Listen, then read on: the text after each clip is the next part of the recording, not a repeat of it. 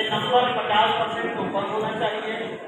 अगर कोई बच्चे निशान के तौर पर एक नंबर पे ही है, लेकिन नंबर पैंतालीस परसेंट है, फिर भी उसके नाम हमारा स्कूल ये था कि पचास परसेंट ऊपर होना चाहिए।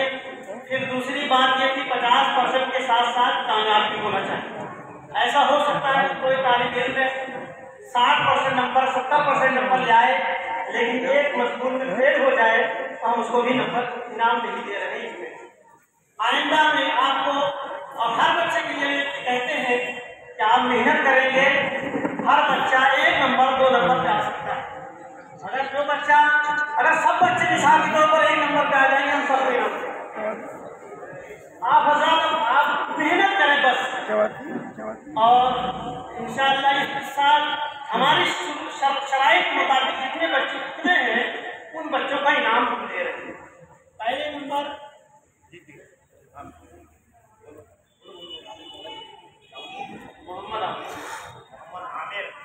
मोहम्मद आमिर। जमात फजीलत में ये एक नंबर पे। माशाल्लाह, इनका परसेंटेज भी अच्छा है और बड़ी मेहनत से इन्होंने इस मैदान में कामयाबी हासिल की।